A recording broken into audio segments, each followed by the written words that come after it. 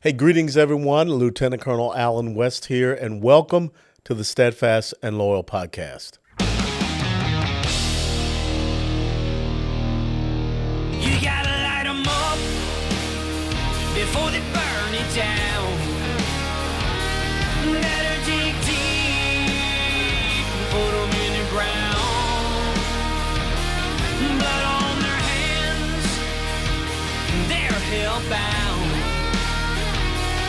Save us all.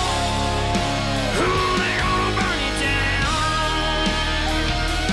Save us all.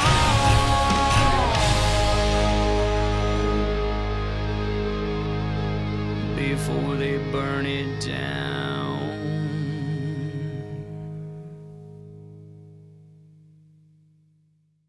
This episode of the Steadfast and Loyal podcast is brought to us by our good friends at the United States Concealed Carry Association.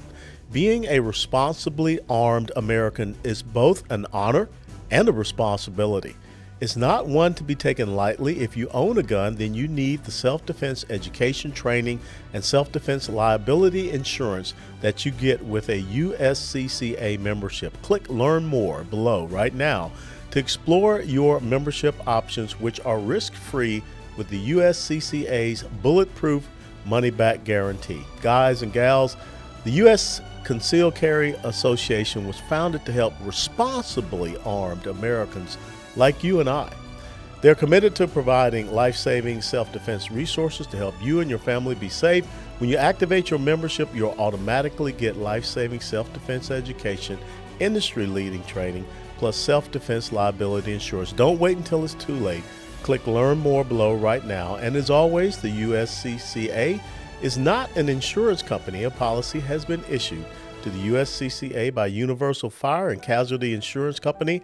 That policy provides the association and its members with self defense liability insurance subject to its terms, conditions, limitations, and exclusions.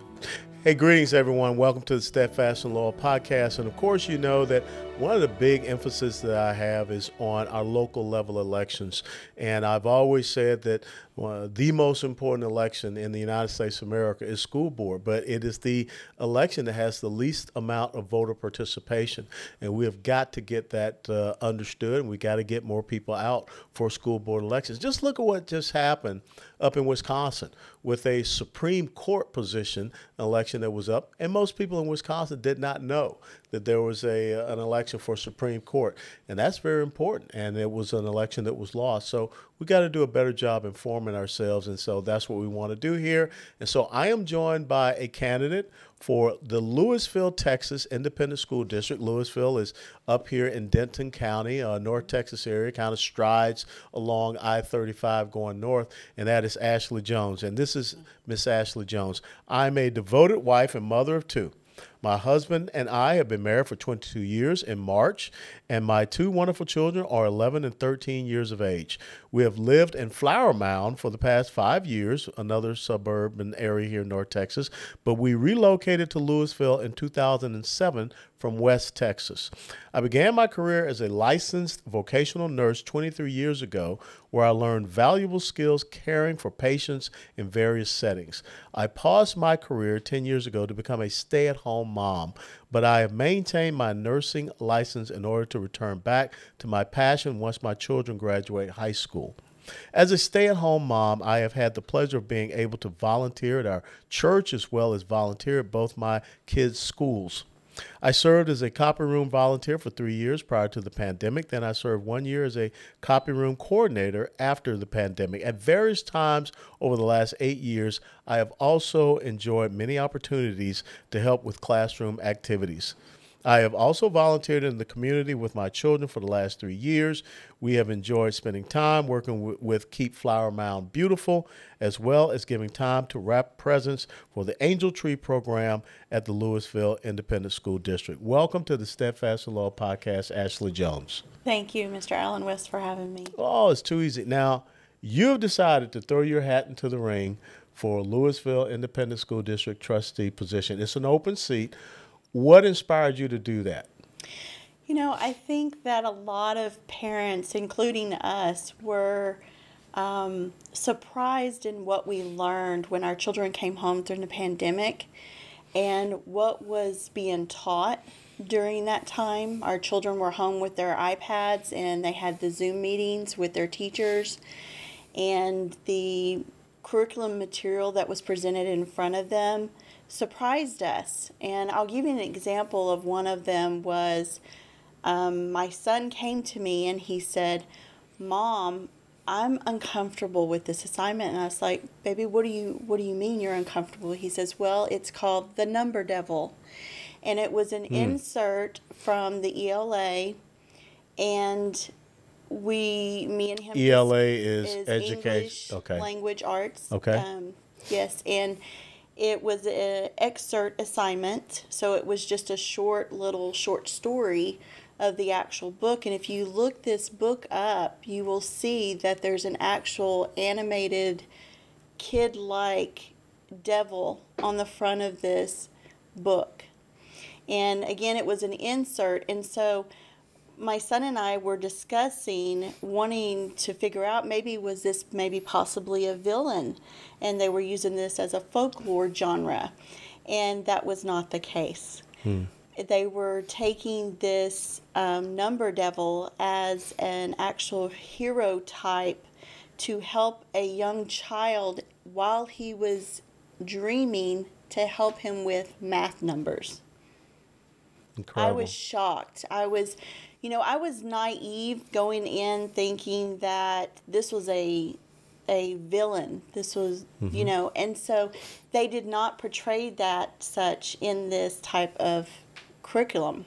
And I was very shocked. I was naive. I, I assumed well, you were like every you were like every parent that, it was it yeah. was fine. you you were like child. every parent that assumed the best. I, I am, yes. you know, giving my children over to these teachers. These teachers are going to be focused on educating my kids and not using this subtle indoctrination means uh, by which they try to push a certain agenda. Right, and I'll give you a second example. This was my eight-year-old was um, in her Zoom meeting at eight o'clock in the morning, and there was a survey question presented to her. Again, she's eight years old.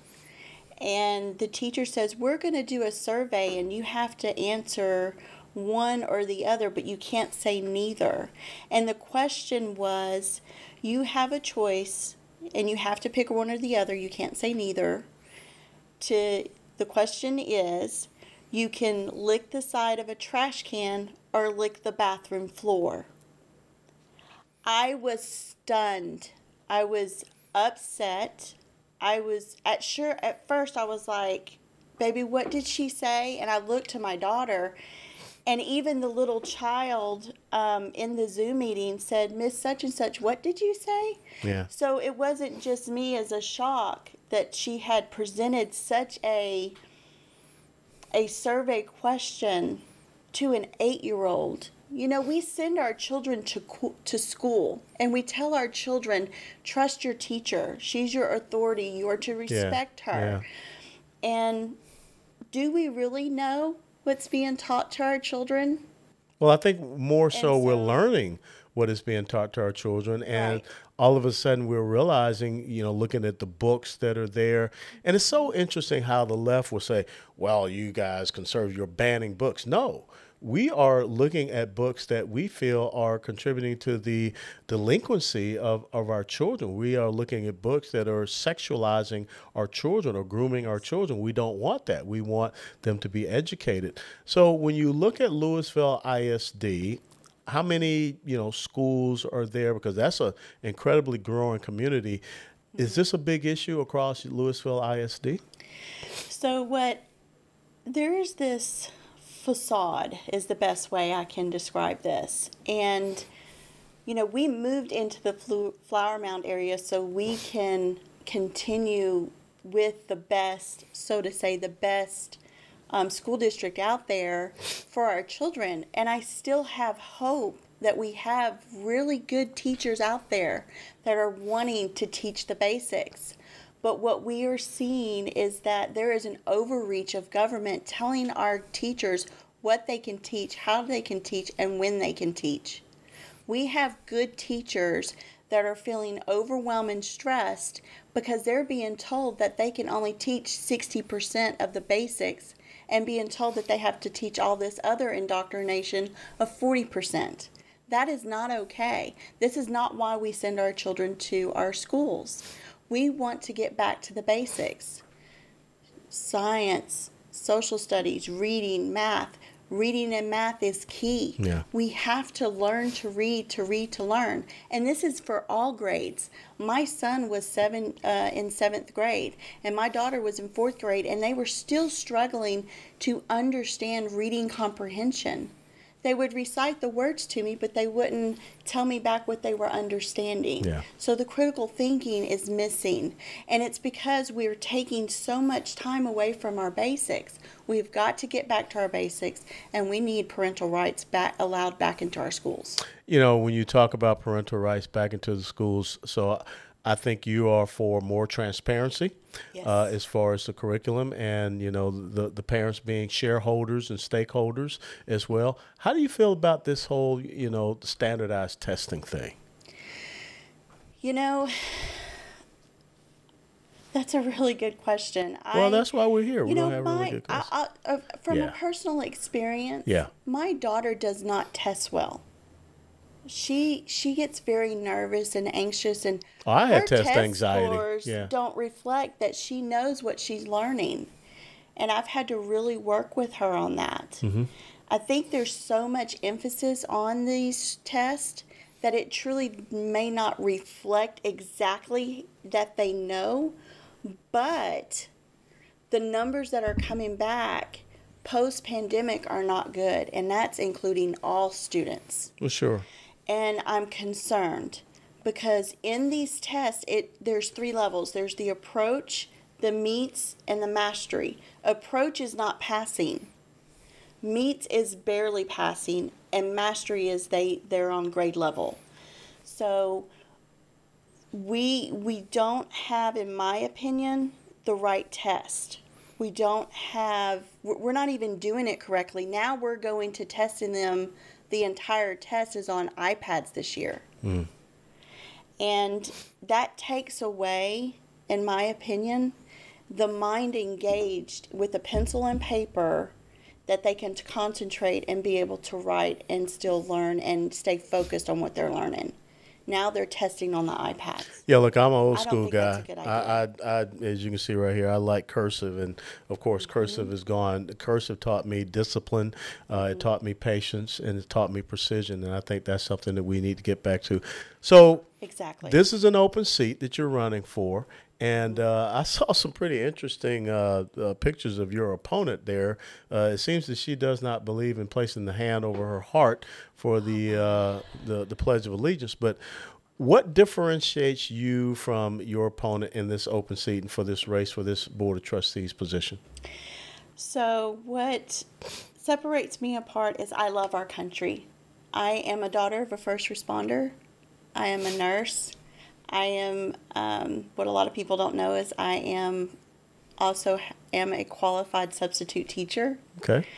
and so I have the skills, and I have what it takes to be that bold, strong, firm parent voice on that board, and we're lacking that right now, and we need that.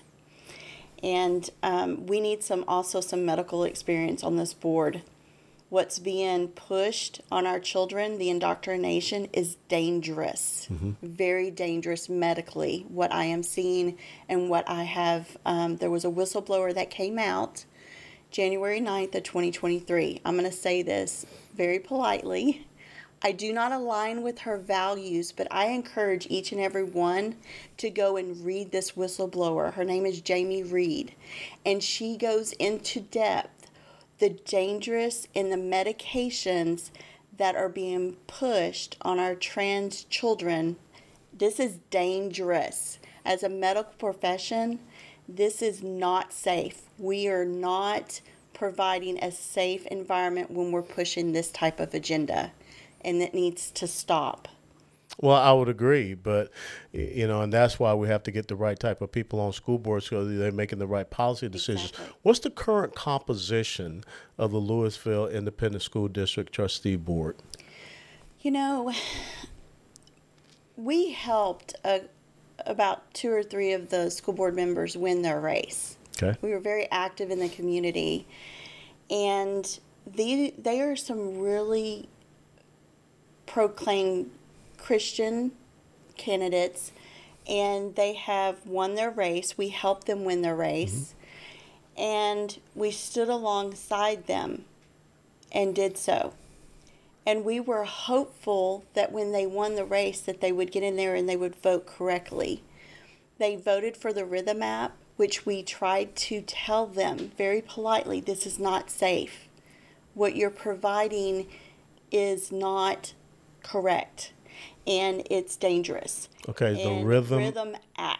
Okay. So we actually have a um, copy of the receipt that they bought the Rhithm app for $250,000. This is our taxpayer dollars going into a Rhithm app where our children can circle an emoji of how they feel on that day.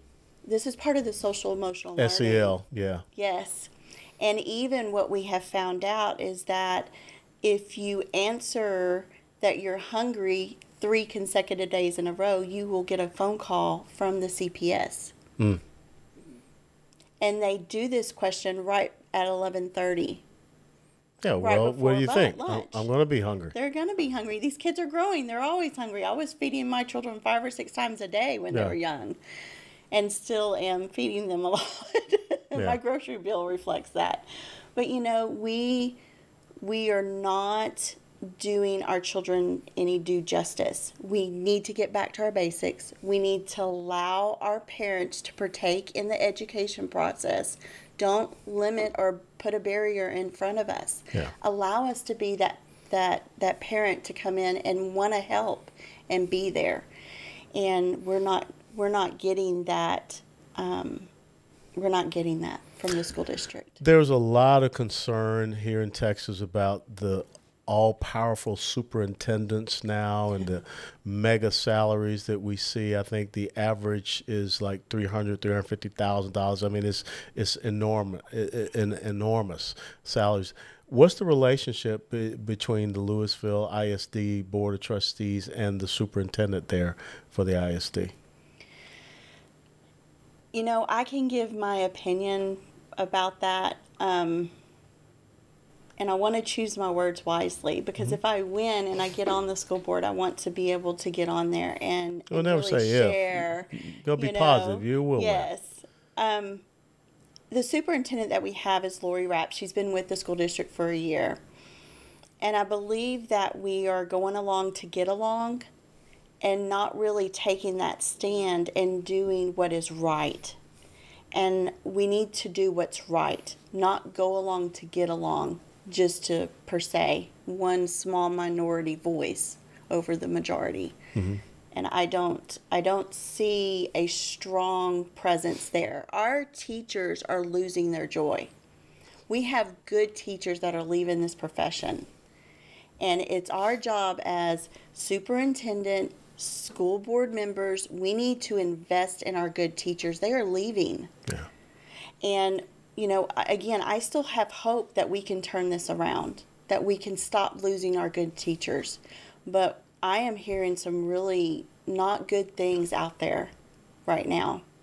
And I am I'm concerned. I'm concerned we're going to lose our good teachers and if I have anything that I can share with our teachers right now, hold on.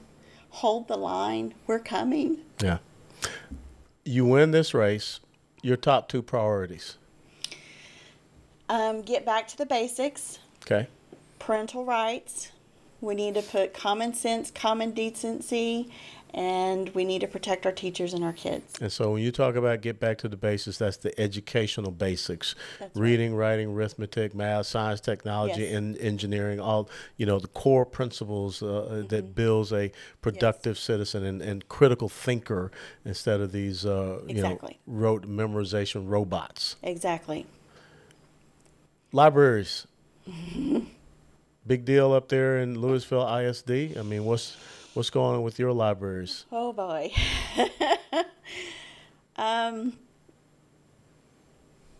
we do have a problem. Um,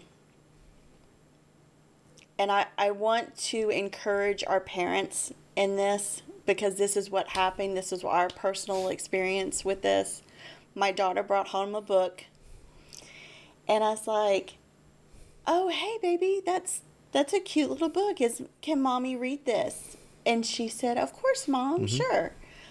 I read the book, and about the first fifty pages, I'm like, "Oh yeah, this this book will this will be okay." But something told me keep reading. 90th page in, 100th page in, I'm like, whoa, wait a second.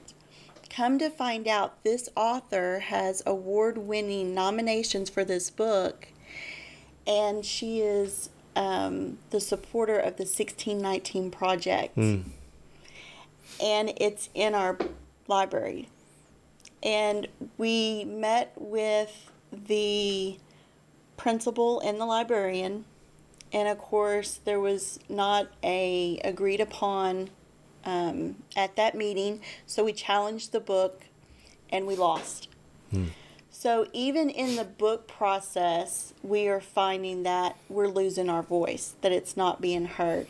And what i want to challenge my parents is ask questions. You have every right to ask questions about your your educational material, your library books, they are there.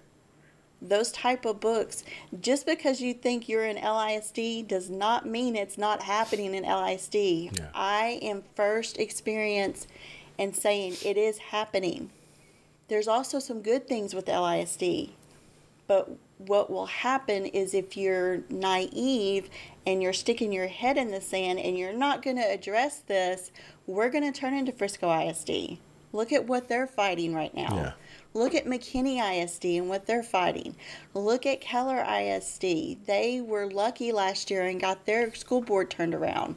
I mean, look at what um, Grapevine Colleyville ISD, they're turning their boards. Things are happening. But what we are seeing in LISD is we are seeing that parents think that this isn't happening here. Yeah. And if you think, parents, that, oh my goodness, she's a whistleblower, think again, I'm not. I am finding these small pods of homeschools around the LISD area. There is problems. And we're getting shut down. We're being told this isn't happening in LISD. And it's a facade. It is happening because our teachers have had enough. They're stressed out, they're frustrated. You have parents that are angry and mad. I am one of them. We have had enough. And if you think you're going to pull your kids out of LISD and take them to another Texas ISD, it's happening everywhere. West Texas is having a problem, Houston is having a problem, San Antonio. All of the state of Texas is having the problems that we're having in LISD. Hmm. You cannot run from this. So you either need to take a stand and help me and another conservative who is fighting in the place six help us fight help help us win this battle for our kids because we see what's going on. And we have caught our teachers teaching their agendas. They're intermittent but they're still there. Okay. What place on the Lewisville Independent School District uh, Board of Trustees? Are, i am running for place seven okay, and you have someone running for place six. yes So we want to get you two in there. Yes. Now you told me that you brought in a little uh, poem that you wanted Yes. to close us out with. So go at it. i'm going to read this poem that was read by a pastor i do not like green eggs and ham You know that's my pastor. Chris I do not like Sam. I am. I do not like them on a boat. I do not like them with a goat. I do not like them on a train or in the in the dark or in the rain. I do not like them here or there. I do not like them anywhere. I tell you what else I do not like. Calling good things bad and wrong things right. They come and try to destroy our structure barging in with this council culture. With angry expressions, they were sent to come at us with their agenda. You know what else makes me see red? attacking Dr. Seuss and Mr. Potato Head, or Speedy Gonzales or Pepe Le Pew, and the Bernstein Bears, to name a few. You can't say that or you can't say this. Well, I've had enough. I've made a list. Council culture has crossed a line. Had I believed that it's past time for the body of Christ to take a stand, join in unity all over the land. On Christ, a solid rock, I stand. All other ground is sinking sand. All other ground is sinking sand. But cancel culture, I disagree that we can't say words like he or she. The Bible for me settled this issue. If this makes you mad, then grab a tissue. Male and female, God created them, and who are we to challenge him? We came to earth as a babe in a manger. To this kind of love, we were all strangers. See, Jesus came to save the lost, so he died upon that old rugged cross. Laid in that tomb for three whole days, the defeated foes was death held in that grave. Heroes see what all power, dominion, and might, with the stone rolled away, he finished that fight. We can fight too. The church must make a stand. Stand up.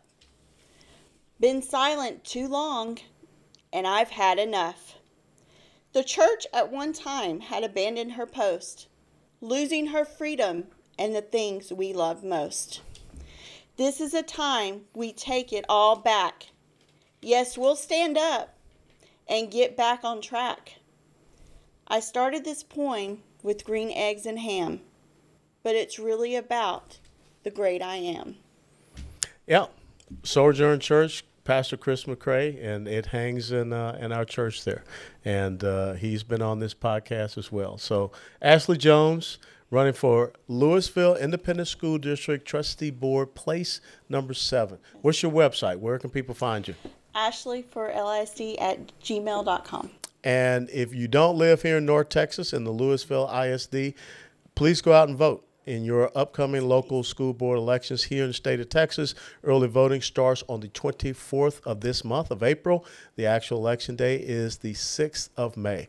So please Yes. go out and vote, or else I'll find you. Thanks for being here with us, Ashley. you so Steadfast and loyal. Thank you. Thanks everyone for joining us on this episode of the Steadfast and Loyal podcast. Thank you so much for Ashley Jones coming in and talking to us about her vision about bringing education back to our kids here in the Lewisville, Texas Independent School District. As always, if you like this podcast, please click the like button, share it with others, and get more people inspired to go out and run for our local level elections city council, school board, county commission, water management district, whatever it is. Get out and let's run for these offices. God bless you all. Steadfast and loyal. before they burn it down.